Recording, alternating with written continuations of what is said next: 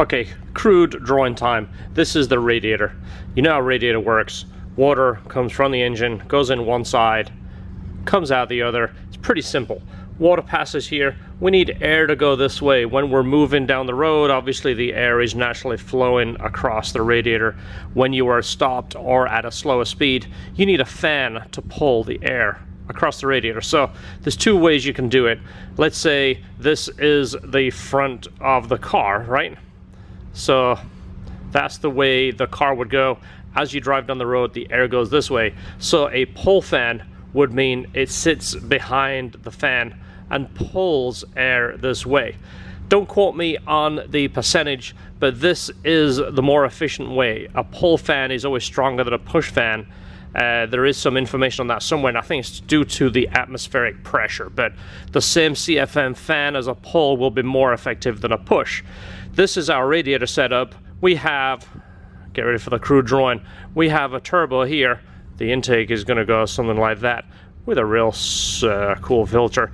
But this is the hottest part here, so we're going to put a pull fan here on this side of the radiator. We're going to put a push fan, and it's going to go between the condenser and then the intercooler will go here. Now it's important to have strong fans. You've seen the eBay fans. They're, they look like a fan and they make a noise. They're not a very good fan. The only fan I use is SPAL. If you watch our videos, you'll see it. Much, much stronger fan. Take a little bit more ampage than a cheap fan, but there's a reason for that. They move more air. So we're gonna go ahead and install that fan. All right, so this portion of the video is brought to you by Skunk 2. And that's because they sent us this awesome fuel rail. They're sponsoring the car and helping us out with some of these parts. And I got a hold of Doug at Skunk 2 and said, could you send me a composite fuel rail? And he said, you know what? It's on his way. And because of that, I want to go and do a detailed unboxing of this. I think it really deserves it. So I'm going to get George over here. He knows our style. He knows how much details we put into these unboxings.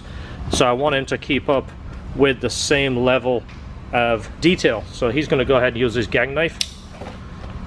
And we're going to give you a full, detailed unboxing. You ready?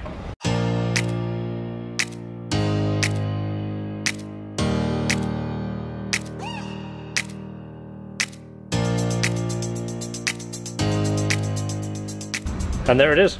Hope you enjoyed that detailed unboxing. We're going to go ahead and install that on the Integra, and that will give us the fuel requirements to start it up. Yay.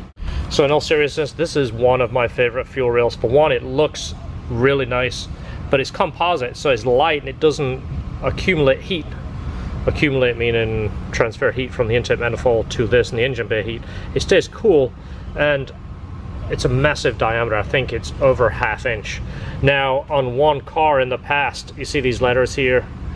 I actually took the time to make those color filled. We're doing to match the car. Well, it took about six coats of paint and I was all day off and on doing that. So even though that sounds cool, I'm not doing that again. So one thing that someone's gonna ask me about, this doesn't screw by the way, this is for the factory fitting it doesn't screw and it has the nice threaded piece. You're going to use the o-ring. There's a bunch of companies that offer a fitting. That way we can put our dash 6 on there. I think we are planning to use our factory regulator so you can use that but there is a threaded piece if you want to pick up that as a return or this end too the same size. You could also put a fuel pressure regulator uh, fuel pressure gauge in there. That's 8th npt oh okay. Yeah and these are not through drilled. Nope. So yeah.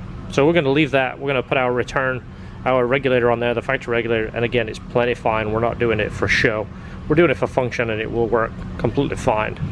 So we can go ahead and put that on with our nice new shiny injectors.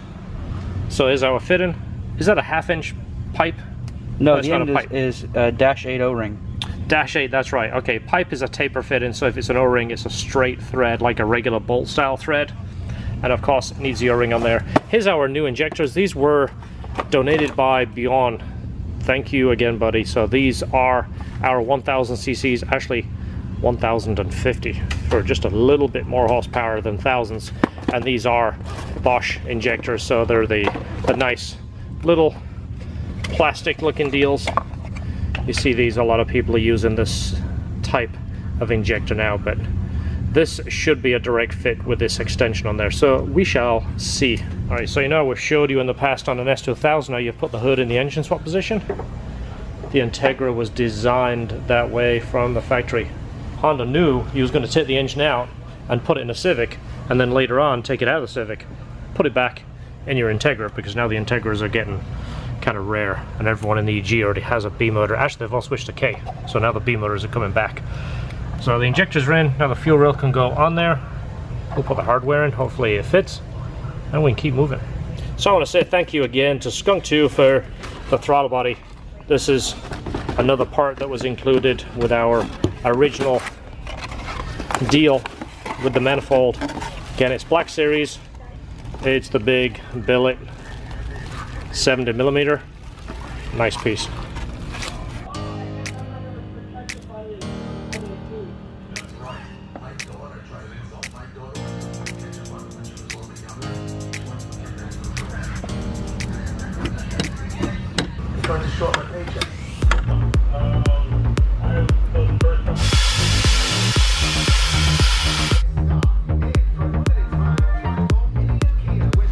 You know what happens. Now it's looking nice. We've got a line from here to the fuel rail. Everything looks good. Now, the regulator that we have looks like crap. Okay, so I just did some shopping for clamps.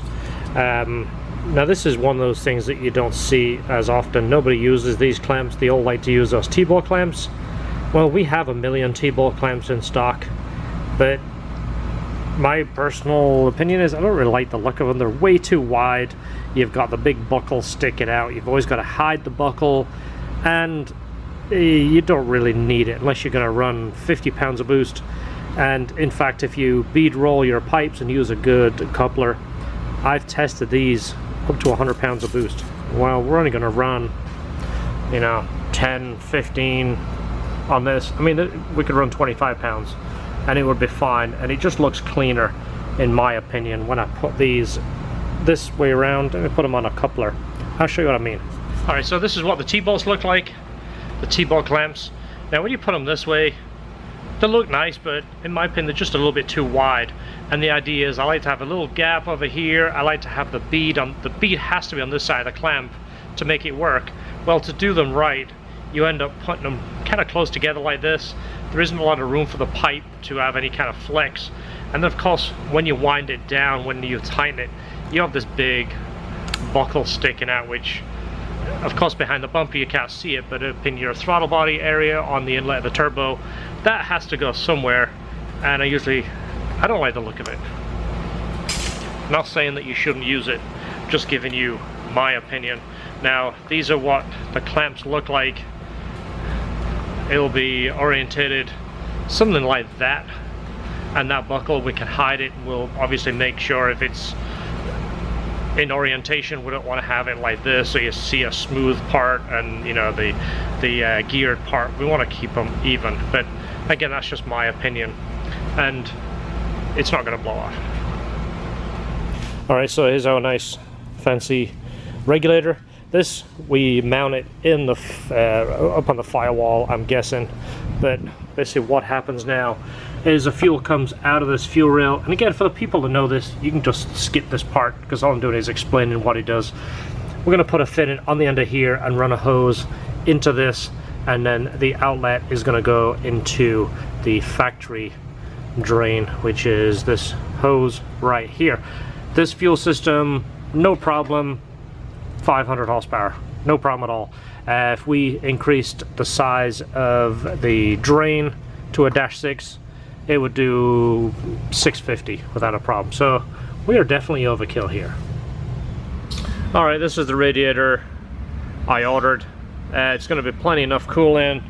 It's quite a bit thicker than the factory one. It's not as thick as the Mishimoto, but one of the things I do like about it is it's obviously a good brand, but it's thinner than most of the aftermarket ones, and we're trying to keep as much room as we can because the radiator is going to sit here, and we don't want it getting any closer to the turbo and any of the hot sauces.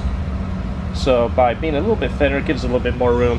And like I mentioned, we're going to put a pull a fan on this side, and as it sits in the car like this, there is going to be a pusher fan on this side. That way we're going to get good flow across the whole radiator. We're to have plenty of airflow and we're not going to have a problem keeping it cool or keeping the air conditioning working correctly.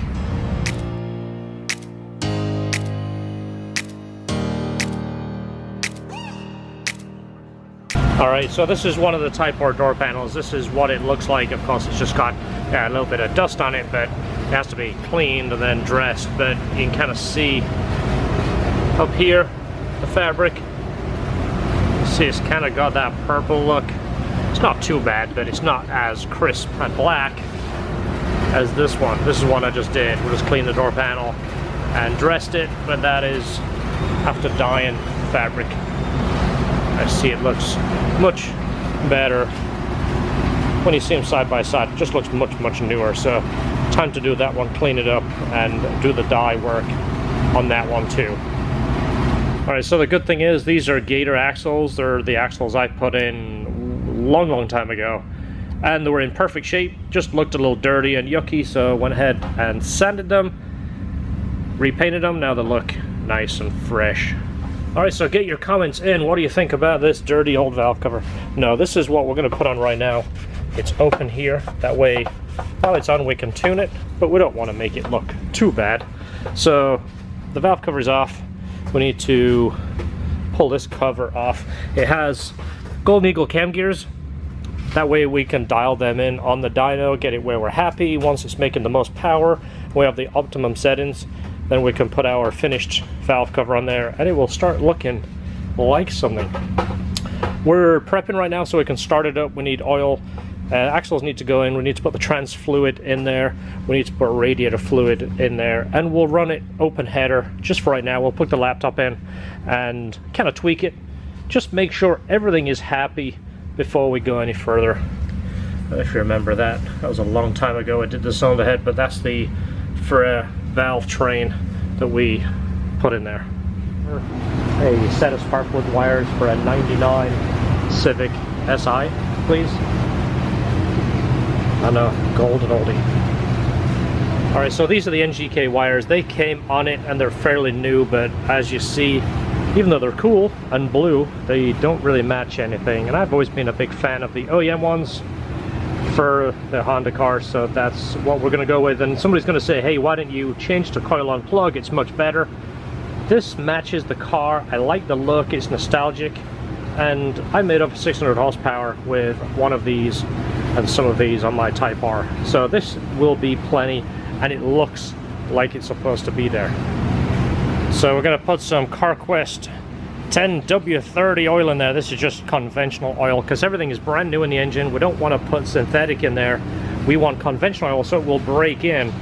Once it's broke in and everything's good, and we're happy, then we'll go ahead and change it to synthetic. But for right now, we're going to break it in on some good old dyno oil.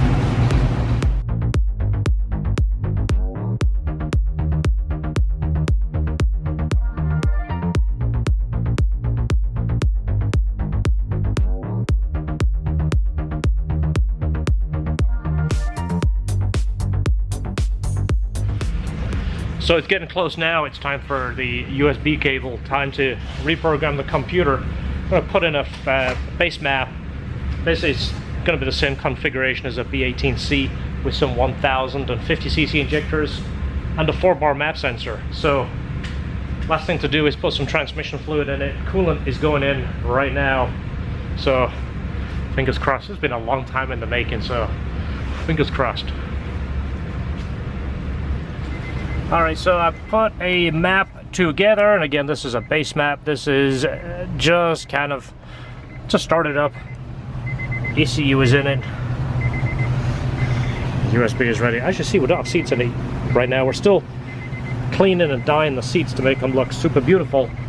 And you know what? We don't have a dash in there. Maybe we should put the cluster in just loosely for right now. All right, so we're putting in trans fluid. I'm gonna put the cluster in. I don't know if you remember this. This is the UK Type R cluster.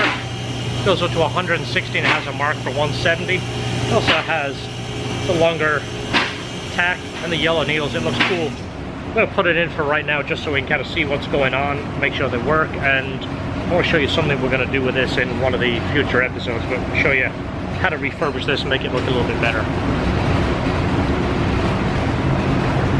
This is because we don't drink beer in the shop, so this is the closest thing I've got to drink. Calm the nerves.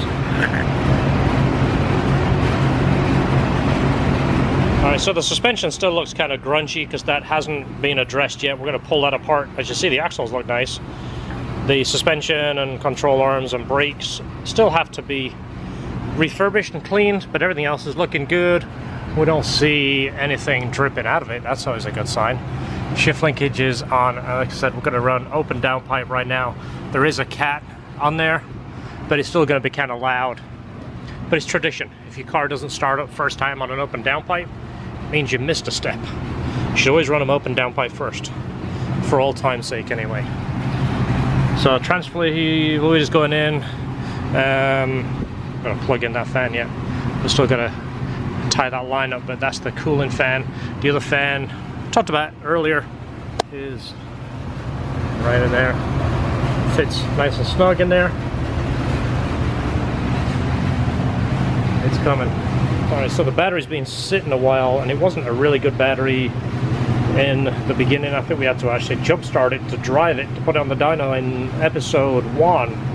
So we'll give it a little bit of time, get a little bit of juice in there, double check, triple check everything, make sure we are all good. Now the back of the block is still open because the breather ports, you remember in an earlier episode it's got the, the uh, half inch ports going off the back, they're going to be open. So we've got to keep an eye on those, so it might smoke a little bit out of those in the beginning. Uh, but for the most part we should we should be good. Ready? Yep.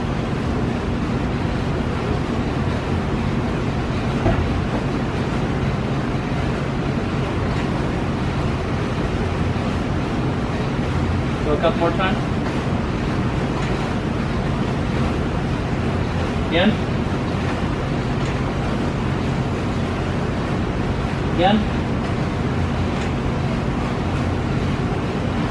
So we're going to take the injectors off right now and just crank it, get some oil pressure, get oil circulated before we actually run it. It's just a good way to get oil all the way around so we don't run anything dry while it gets started up. All right, here it goes. Build oil pressure.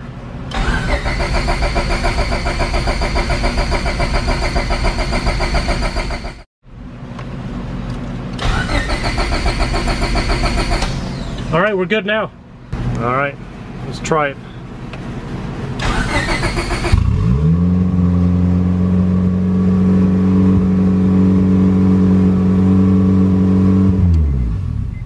The uh, brake boost is still off. It is. That's the high idle. You know, we just put a cap on what's going on. Yeah. Well, it started, started smooth. Yeah, we have the brake booster hose off. We're having to use a different one because the Skunk 2 manifold is in a way different position. So that's why that is off. Again, that's some of the little things that you deal with on a fresh motor. Yep.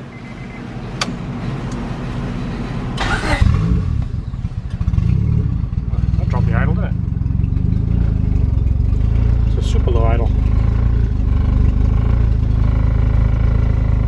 Might have to adjust the throttle body. It's got a new throttle body on it.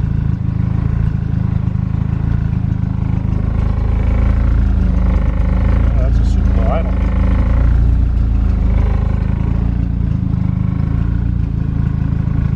It's running though.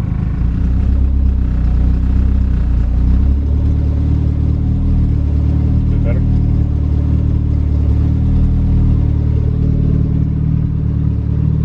That's better. The clutch isn't flat, so the pedal's down. So you don't need to press the clutch to start.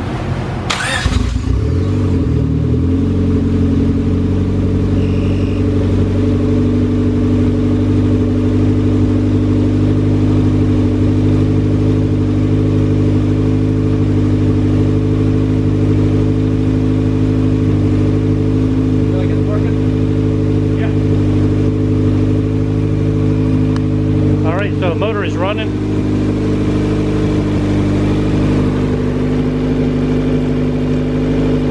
Everything looks like it's doing what it needs to do.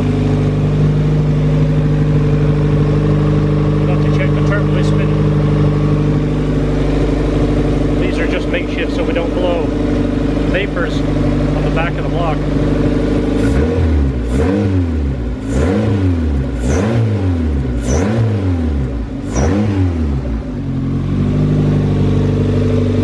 It's pretty responsive.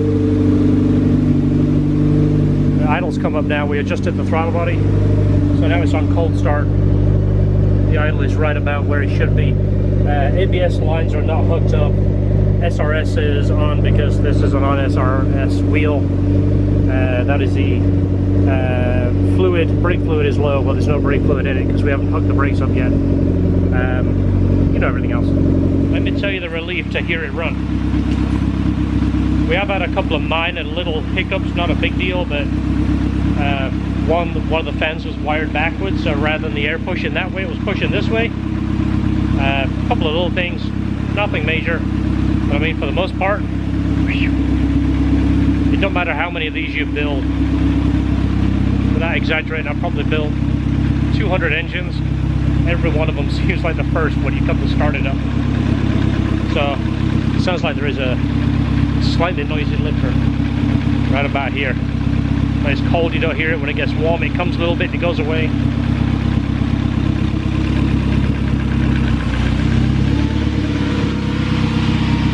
Yep, fans are working properly now. Not that good. Yeah. That's better than it blowing the rag back at you. Nice. So our cooling system might be a little overkill right now because the fans are coming on early. We have that Mishimoto switch, a Mishimoto thermostat, the big radiator, and the small fans. Well, the fans come on kind of early. The fans are kicking out at like 171, which is really too early. I really want to put on about 185, 190. The cooling system should be more than capable of keeping it correctly temperature, whatever I'm saying. I'm still, I'm still excited the fact that this thing is good and he's running. He's running good too. We burped the throttle again. Again, we just had to adjust the TPS. We don't have a wideband on it. We're just kind of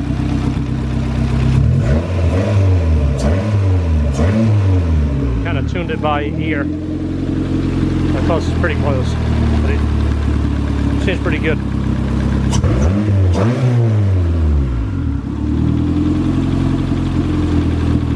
That lifter's getting noisier. I must have either ran one a little bit too loose or something, but probably gonna have to pull the valve cover and take a look at that. So anyway, it's still a relief to hear it run. Of course, I felt comfortable and confident, but you know what it's like. It's first time. You're starting it up, you want to make sure everything's right. There's so many little things that could have been done wrong. I mean, there's a couple of little hiccups, like I say, but for the grand scheme of things, it was no big deal at all. I mean, the fan wired backwards, easy fix.